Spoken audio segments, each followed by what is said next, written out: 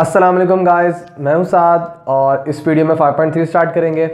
Last exercise है हमारे chapter number five की और इसमें बहुत सारी डेफिनेशंस हैं। मैं लिखवा नहीं सक रहा आप लोगों को, अगर लिखवाऊँगा तो बहुत टाइम लग जाएगा मेरे पास। टाइम बड़ा शॉर्ट है। ठीक है? तो मैं आप लोगों को कोशिश करूँगा, मैं जितनी डेफिनेशन है वो सब वर्बली बोलूँगा आप लोगों को। और आप लोग कोशिश करो कि वीडियो को रिवाइंड करके बार बार देख के समझ लेना और लिख लेना अगर लिखना चाहो आप लोग, ठीक है? तो बहुत ज़्यादा डेफिनेशन है, मैं आप लोगों को सबके डेफिनेशन बता दूँगा, क्या होता है, क्या पॉइंट है, सब चीज़ें, ठीक है? देखो, सबसे पहले 5.3 का स्टार्ट हम करते हैं इंक्रीजिंग और डिक्रीजिंग फ़ंक्शन से। कि इंक्रीजिंग फ़ंक्शन आपके पास क्या है डिक्रीजिंग फ़ंक्शन क्या है आपके पास? अब देखो इंक्रीजिंग फ़ंक्शन कौन सा होता है? इंक्रीजिंग अच्छा एक चीज़ ध्यान में रखो, जब भी हम ग्राफ रीड करते हैं लेफ़्ट से राइट पे रीड करते हैं, मैंने आप लोगों को पहले भी चैप्टर नंबर टू में बताया है, ठीक है? अब देखो लेफ़्ट से राइट पे अगर हम ग्राफ को रीड करेंगे तो ऑब्वियसली हमारी एक्स वैल्यू इंक्रीज हो रही होगी, ठीक है? जब हम ग्राफ को लेफ़्ट से राइट पे देखेंगे, और हमारी एक्स वैल्यू जैसी बढ़ती जा रही है और फ़ंक्शन की वाई वैल्यू भी बढ़ती जा रही है तो उसको हम कहेंगे इंक्रीजिंग फ़ंक्शन ठीक है? अब देखो, जैसे ही मैं लेफ़्ट से राइट पे देख रहा हूँ, मैं जैसे ही बढ़ता जा रहा हूँ मतलब मेरा एक्स बढ़ता जा रहा है, इसी तरह मेरे फ़ंक्शन का वाई भी बढ़ता जा रहा है मतलब फ़ंक्शन राइज होता जा रहा है, ठीक है? तो ये मेरे पास क्या हो जाएगा? इंक्रीजिंग फ़ंक्शन हो जाएगा। अगर मैं एक्स को इंक्रीज करता जाऊँ, अब देखो, इसमें एक्स इंक्रीज होता जा रहा है, लेकिन अब वाई की वैल्यू देखो मतलब इस पॉइंट पर आपका वाई ये होगा इसी तरह इस पॉइंट पे आपका वाई ये होगा, इसी तरह इस पॉइंट पे आपका वाई ये होगा। तो आहिस्ता आहिस्ता आपका वाई डिक्रीज हो रहा है मतलब जो ग्राफ में फॉल आ रहा है आपके पास। तो ऐसा फ़ंक्शन जिसमें हम, जिसमें एक्स वैल्यू इंक्रीज हो रही हो और वाई वैल्यू डिक्रीज हो रही हो तो वो डिक्रीजिंग फ़ंक्शन होता है। और ऐसा फ़ंक्शन जिसके अंदर एक्स वैल्यू इंक्रीज हो रही हो, इसी तरह वाई वैल्यू भी इंक्रीज हो रही हो मतलब फ़ंक्शन राइज कर रहा है आपका और इधर फ़ंक्शन फॉल कर रहा है। तो राइज जब फ़ंक्शन करेगा और एक्स वैल्यू इंक्रीज होगी वाई भी इंक्रीज होगी तो आपके पास वो होता है इंक्रीजिंग फ़ंक्शन ठीक है? देखो, आपके पास टॉपिक क्या है? मैक्सिमा और मिनिमा यही आपका 5.3 का टॉपिक है और इसी तरह आप सवाल सॉल्व करोगे, यही आपने फाइंड करना है मैक्सिमा और मिनिमा अब देखो मैक्सिमा क्या होता है? अगर आपके पास ज़्यादा मैक्सिमम पॉइंट है तो उसको मैक्सिमा बोलेंगे। ये बोल लो मैक्सिमम पॉइंट की प्लूरल जो है आपके पास मैक्सिमा है। इसी तरह ज़्यादा मिनिमम पॉइंट होंगे तो वो क्या हो जाएँगे? आपके पास मिनिमा हो जाएँगे। और मैक्सिमा और मिनिमा को आप एक्सट्रीमा भी बोलते हो। मतलब मैक्सिमम पॉइंट्स अगर आपके पास ज़्यादा है तो मैक्सिमम पॉइंट को एक्सट्रीम पॉइंट भी बोला जाता है। तो अगर मैक्सिमम पॉइंट ज़्यादा है तो हम मैक्सिमम बोलेंगे या इसको एक्सट्रीमा भी बोला जाता है, ठीक है? एक्सट्रीमा मैक्सिमा और मिनिमा दोनों को कहते हैं। एक्सट्रीमा का मतलब ये होता है आपके पास एक्सट्रीम वैल्यू एक्सट्रीम वैल्यू या तो बड़ी होगी, बहुत, जिसको मैक्सिमम बोलते हैं, या एक्सट्रीम वैल्यू छोटी होगी, जिसको मिनिमा बोलते हैं, ठीक है? तो मैक्सिमा मिनिमा को करेक्टिवली हम एक्सट्रीमा भी बोला जाता है, ठीक है? अब देखो मैक्सिमा और मिनिमा के साथ दो टर्म अटैच होती हैं। एक होता है आपके पास लोकल मैक्सिमा या लोकल मिनिमा। मैं आपको एक चीज़ बता दूँगा, बाकी मिनिमा के आप लोगों को समझ आ जाएगा लोकल को हम क्या बोलते हैं? लोकल को हम रिलेटिव भी बोल सकते हैं, ठीक है? ये आपके पास एक टर्म होगी रिलेटिव या लोकल मैक्सिमा दूसरी टर्म है आपके पास एब्सोल्यूट या ग्लोबल मैक्सिमा इसका क्या मतलब है? और इसी तरह मिनिमा के लिए भी होगा। लोकल मिनिमा इसी तरह ग्लोबल मिनिमा भी। ठीक है? तो मैं मैक्सिमा का आप लोगों को बता देता हूँ। देखो रिलेटिव और लोकल मैक्सिमा बाद में समझते हैं, पहले समझ लेते हैं एब्सोल्यूट या ग्लोबल मैक्सिमा क्या होता है। दोनों एक ही चीज़ के नाम है। देखो ग्लोबल मैक्सिमा आपके पास क्या होता है? जो फ़ंक्शन की सबसे बड़ी वैल्यू होती है, वो होती है आपके पास ग्लोबल मैक्सिमा अब इस फ़ंक्शन को आप देखो, इसमें सबसे बड़ी वैल्यू कौन सी? ये वाली है। तो ये वाला पॉइंट आपके पास क्या हो जाएगा? ग्लोबल मैक्सिमा या ऐसे आप बोल दो एब्सोल्यूट मैक्सिमा ठीक है? और इसी तरह जो फ़ंक्शन की सबसे स्मॉलेस्ट वैल्यू होगी, उसको हम बोलेंगे ग्लोबल मिनिमा या एब्सोल्यूट मिनिमा इस फ़ंक्शन में आपको सबसे मिनिमम वैल्यू नहीं नज़र आ रही, वो नेगेटिव इन्फिनिटी के पास होगी कहीं ना कहीं, ठीक है? ये तो हो गया आपके ग्लोबल और एब्सोल्यूट की कहानी। रिलेटिव या लोकल मैक्सिमा क्या होता है आपके पास? देखो लोकल मैक्सिमा क्या होता है आपके पास? कि जैसे ये वाला पॉइंट है, आप इसके अलॉन्ग एक हल्का सा इंटरवल चूज़ कर लो। ये वाला इंटरवल है, ठीक है? इस इंटरवल में आप देखोगे तो सबसे मैक्सिमम पॉइंट कौन सा है? ये वाला है। तो एक पर्टिकुलर इंटरवल में जो मैक्सिमम पॉइंट होगा उसको आप लोकल कहोगे। और ये ज़्यादा हो सकते हैं। जैसे इधर आओ इस वाले में भी ये वाला पॉइंट जो है ये लोकल मैक्सिमा भी है। क्यों? एक पर्टिकुलर इंटरवल में ये सबसे बड़ी वैल्यू है। इसी तरह इधर आओ इस पर्टिकुलर इंटरवल में ये आपके पास बड़ी वैल्यू है। तो लोकल मैक्सिमा बहुत हो सकते हैं आपके फ़ंक्शन में। लेकिन ग्लोबल मैक्सिमा सिर्फ़ एक होगा। सबसे बड़ी वैल्यू कौन सी होगी? वो ये वाली है। और ये सारा मिनिमा के लिए भी है। कि जो लोकल अब देखो इसको देखो। ये लोकली मिनिमम वैल्यू है। मतलब पर्टिकुलर इंटरवल में ये आपके पास मिनिमम वैल्यू है। इसी तरह और भी फ़ंक्शन की मिनिमम होंगी लोकली ठीक है? और ग्लोबल मिनिमम क्या हो जाएगी? सबसे स्मॉलेस्ट वैल्यू होगी फ़ंक्शन की, ठीक है? तो ये कुछ टर्म थे, आप लोगों को बताना ज़रूरी थी, ठीक है? उसके बाद आपके पास कुछ टर्म्स आती हैं स्टेशनरी पॉइंट इसी तरह आपके पास आता है क्रिटिकल पॉइंट इसी तरह तीसरा जो तीसरा जो आपका वर्ड जो होता है, वो होता है टर्निंग पॉइंट तो तो स्टेशनरी पॉइंट टर्निंग पॉइंट और क्रिटिकल पॉइंट ये तीनों एक ही का नाम है, ठीक है? अब आप लोगों के लेवल पे डिफरेंस है इनके दरमियान, लेकिन वो बताना ज़रूरी नहीं है। आप लोग इसको सेम ही कंसिडर करो। तो स्टेशनरी पॉइंट टर्निंग पॉइंट और क्रिटिकल पॉइंट ये एक ही चीज़ होती है। होता क्या है कि जिस, ऐसा पॉइंट जिस पे आपके फ़ंक्शन का डेरिवेटिव ज़ीरो हो जाएगा। क्या मतलब? अब देखो, इस वाले पॉइंट को कंसिडर करो। अगर इस पॉइंट पे मैं एक डेरिवेटिव निकाल दूँ डेरिवेटिव मतलब क्या होता है? कि आप टेंजन लाइन ड्रॉ करो उसका slope slope of a tangent line अगर इस पॉइंट पे मैं एक टेंजन लाइन ड्रॉ करता हूँ तो ये tangent line parallel to x axis होगी। तो उसका स्लोप क्या होगा? ज़ीरो के बराबर होगा। आपको पता है जो दो लाइन पैरेलल होती है, उनका स्लोप सेम होता है। एक्स एक्सिस का स्लोप ज़ीरो है तो इसका भी ज़ीरो हो जाएगा।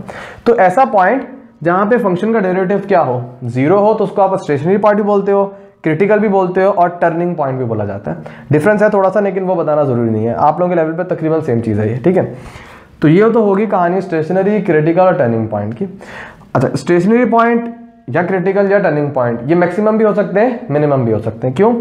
देखो, ये मैक्सिमम लोकल मैक्सिमम पॉइंट है, इस पर भी आप डेरिवेटिव मतलब टेंजन लाइन ड्रॉ करोगे पैरेलल टू एक्स एक्सिस आएगी स्लोप क्या आएगा? ज़ीरो आएगा। इसी तरह मिनिमम पॉइंट पे भी अगर आप टेंशन लाइन ड्रॉ करोगे, उसका स्लोप भी ज़ीरो आएगा। तो स्टेशनरी पॉइंट मैक्सिमम भी हो सकते हैं और मिनिमम भी हो सकते हैं। ठीक है? अच्छा अब हम देखेंगे किसी भी फ़ंक्शन का मैक्सिमा और मिनिमा किस तरह निकालेंगे, ठीक है? देखो, आप लोग सबसे पहले जो स्टेप अच्छा हम जो निकालेंगे वो लोकल मैक्सिमा लोकल मिनिमा निकालेंगे। क्यों? क्योंकि कितने सवाल में आपके पास एक से ज़्यादा मैक्सिमम वैल्यूज़ आ रही होती हैं। तो एक से ज़्यादा मैक्सिमम वैल्यू का आप ग्लोबल नहीं बोला जाता, ठीक है? तो हमें नहीं पता उनमें से कौन सा पॉइंट ग्लोबल है, ठीक है? तो हम क्या बोलेंगे? हम लोकल मैक्सिमम बोलेंगे। क्यों? क्योंकि ज़्यादा वैल्यूज़ आ रही है हमारे पास। ग्लोबल मैक्सिमा या ग्लोबल मिनिमा सिर्फ़ एक ही पॉइंट होगा आपके पास, ठीक है?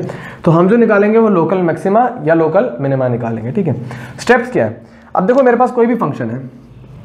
जैसे मेरे पास एक क्वाड्रेटिक फ़ंक्शन है। ठीक है। अब मुझे इसका क्या मैक्सिमम और मिनिमम मतलब मैक्सिमम वैल्यूज़ और मिनिमम वैल्यूज़ निकालनी है ठीक है? तो क्या स्टेप्स होंगे? सबसे पहला स्टेप क्या है मेरे पास? मैं इसका डेरिवेटिव फाइंड कर लूँ। अगर इसको मैं एफ़ ऑफ़ एक्स की फॉर्म में लिखूँ ठीक है? जब मैं डेरिवेटिव निकालूँगा तो मेरे पास क्या आ रहा है इसका? टू एक्स प्लस टू ठीक है? सबसे पहले मैं क्या करूँगा? डेरिवेटिव निकालूँगा। उसके बाद मैं उस डेरिवेटिव को ज़ीरो के इक्वल रख लूँगा और एक्स की वैल्यूज़ निकालूँगा। जो मेरे पास एक्स की वैल्यूज़ आएँगी वो मेरे पास मैक्सिमम या मिनिमम वैल्यू होगी। क्यों? देखो इसकी रीजन क्या है? अगर मैं कहता हूँ कि ये वाला पॉइंट जो है, मेरे पास मैक्सिमम पॉइंट है, ठीक है? इसी तरह, ये वाला पॉइंट जो है मेरे पास, ये मिनिमम पॉइंट है। तो अगर मैं इसका डेरिवेटिव निकालूँगा डेरिवेटिव मतलब slope of tangent line tangent line draw करो, ये टेंजन लाइन ड्रॉ की अगर इसका मैं स्लोप निकालूँगा, क्या आएगा? ज़ीरो के बराबर आएगा क्योंकि पैरेलल टू एक्स एक्सिस है। इसी तरह मैक्सिमम पॉइंट पे अगर मैं स्लोप ऑफ़ टेंजन निकालूँगा, क्या आएगा? ज़ीरो के बराबर आएगा। तो जब भी आप मैक्सिमम या मिनिमम पॉइंट पे स्लोप ऑफ़ टेंजेंट निकालोगे तो वो ज़ीरो के बराबर आएगा, ठीक है? तो जब आपने फ़र्स्ट डेरिवेटिव मतलब स्लोप ऑफ़ टेंजेंट निकाल लिया तो इसको ज़ीरो के इक्वल रख लो। क्यों? क्योंकि आपको एक्स की वो वैल्यूज़ चाहिए जिन पे आपका फ़ंक्शन मैक्सिमम या मिनिमम है, ठीक है? तो ये रीजन है फ़र्स्ट डेरिवेटिव को आपने ज़ीरो के बराबर रखा। जब ज़ीरो के बराबर रखोगे, कोई ना कोई एक्स की वैल्यू आएगी आपके पास, ठीक है? इसी तरह अगर मिनिमम है, तब भी आपके पास एक्स की वैल्यू आएगी। तो आपने इसको फ़र्स्ट डेरिवेटिव को ज़ीरो के इक्वल रखे एक्स की वैल्यूज़ के लिए सॉल्व करना है। उसके बाद क्या करना? अच्छा जो भी x की वैल्यूज़ आएँगी लेट से अगर आप इसको ज़ीरो रखोगे two x plus two equal to zero क्या आ जाएगा? Two x equal to minus two x equal to minus one तो ये आपके पास मैक्सिमम या मिनिमम वैल्यू ये आपको नहीं पता अभी, ठीक है? इस पॉइंट पर आपका फ़ंक्शन या तो मैक्सिमम होगा या मिनिमम होगा, आपको अभी नहीं पता, वो दूसरे तरीके से पता चलेगा, ठीक है? आप क्या करो, इस एक्स की वैल्यू को फ़ंक्शन के अंदर पुट कर दो। Y equal to minus one का square plus two minus one plus two solve करोगे तो क्या आएगा आपके पास? वन माइनस टू और प्लस टू। तो वाई की वैल्यू क्या आ गई? वन। तो आपके पास एक स्टेशनरी पॉइंट आ गया। स्टेशनरी पॉइंट या तो वो मैक्सिमम होगा या मिनिमम होगा। कोऑर्डिनेट क्या है? एक्स माइनस वन है और वाई वन है। तो ये आपके पास एक स्टेशनरी पॉइंट आ गया। अब आपको नहीं पता कि मैक्सिमम है या मिनिमम है। फाइंड तो कर लिया आपने, लेकिन ये नहीं पता कि मैक्सिमम है या मिनिमम है। किस तरह पता चलेगा? उसके लिए हम क्या करेंगे? उसके लिए हम सेकेंड डेरिवेटिव टेस्ट करेंगे। वो क्या होता है? वो समझ लेते पहले स्टेप पढ़ने से पहले देख लेते सेकंड डेरिवेटिव टेस्ट होता क्या देखो सेकंड डेरिवेटिव टेस्ट हमें क्या बताता है? देखो फ़र्स्ट डेरिवेटिव हमें क्या बताता है? Slope of a tangent line second derivative हमें क्या बताता है? किसी भी फ़ंक्शन की कॉन्केविटी बताता है। कॉन्केविटी का मतलब क्या? कि या तो वो कॉन्केव अप है या कॉन्केव डाउनवर्ड है। ये हमें बताएगा। ऊपर से क्या होगा आप लोगों के? मैं समझाता हूँ आप लोगों को ठीक है? अब देखो इस फ़ंक्शन को लेट कर लो। ये फ़ंक्शन इंक्रीज हो रहा है ना? क्यों? जैसे ही हमारी एक्स की वैल्यूज़ इंक्रीज होती जा रही है वाई की वैल्यू भी इंक्रीज होती जा रही है। या दूसरा तरीका क्या है इसका? अगर आप इस पॉइंट पर टेंजन लाइन ड्रॉ कर रहे हो तो इस तरह आ रही है। इस पर ड्रॉ कर रहे हो तो इस तरह आ रही है। और मैंने आप लोगों को बताया चैप्टर नंबर टू में बताया था लेफ़्ट से राइट पे कोई भी लाइन इंक्रीज हो रही है तो उसका मतलब है उसका स्लोप पॉजिटिव है। तो आपके पास फ़ंक्शन इंक्रीज हो रहा है, ठीक है? इंक्रीज हो रहा है, ये आपका फ़ंक्शन इंक्रीज हो रहा है पॉजिटिव है पॉजिटिव इस पॉइंट पे आपका स्लोप क्या हो जाएगा फ़ंक्शन का? ज़ीरो मतलब डेरिवेटिव ज़ीरो हो जाएगा।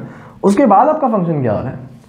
उसके बाद आपका फ़ंक्शन डिक्रीज हो रहा है। स्लोप क्या है? नेगेटिव स्लोप है उसका क्यों? क्योंकि अगर आप इस पॉइंट पे अब जब टेंजन लाइन ड्रॉ करते हो तो लेफ़्ट से राइट पे इस लाइन को देखोगे तो ये डिक्रीज हो रही है मतलब नेगेटिव स्लोप नेगेटिव स्लोप मतलब आपका डेरिवेटिव नेगेटिव है। तो शुरू में आपका स्लोप आपका फ़ंक्शन पॉजिटिव था पॉजिटिव था, उसके बाद ज़ीरो हो गया। ये आपके फ़र्स्ट डेरिवेटिव ने आपको बता दिया, उसका फ़र्स्ट डेरिवेटिव क्या ज़ीरो उसके बाद क्या हो रहा है आपका फ़ंक्शन डिक्रीज हो रहा है। ये आपको बताएगा सेकंड डेरिवेटिव जब आप किसी फ़ंक्शन का सेकंड डेरिवेटिव निकालोगे तो वो हमें क्या बताएगा? सेकेंड डेरिवेटिव का मतलब क्या है? Rate of change of derivative मतलब डेरिवेटिव ये आपके पास डेरिवेटिव है ना? D y by d x इसका जब आप रेट ऑफ़ चेंज निकालोगे तो rate of change of derivative क्या होगा? और डेरिवेटिव किस रेट से चेंज हो रहा है? पहले तो डेरिवेटिव पॉजिटिव था पॉजिटिव था, फिर ज़ीरो हो गया। उसके बाद डेरिवेटिव के साथ क्या हुआ? नेगेटिव हो गया। तो जब आपके पास सेकंड डेरिवेटिव नेगेटिव जब आपके पास सेकंड डेरिवेटिव नेगेटिव आ रहा है इसका क्या मतलब है? आपका फ़ंक्शन डिक्रीज हो रहा है। पहले ज़ीरो था, फिर डिक्रीज उससे पहले क्या होगा? इंक्रीज हो रहा होगा।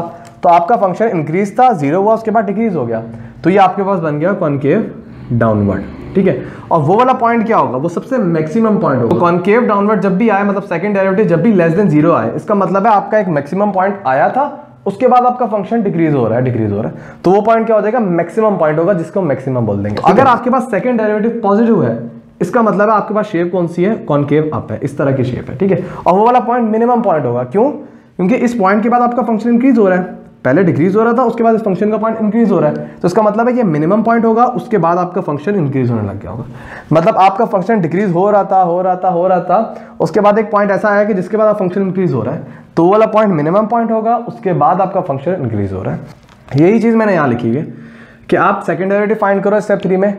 अगर आपके पास ए कॉमा बी एक स्टेशनरी पॉइंट है लेट से इस फिगर में नहीं निकाला था अगर स्टेशनरी पॉइंट है तो अगर आप सेकंड डेरिवेटिव में ये वाला है एक्स कोऑर्डिनेट पुट करोगे स्टेशनरी पॉइंट का मतलब माइनस वन पुट करोगे, और वो क्या है, वो ग्रेटर देन ज़ीरो आए तो आपके पास कॉन्केव अब मतलब वो मिनिमम पॉइंट होगा जो मैंने लिख दिया, कि लोकल मिनिमम पॉइंट है।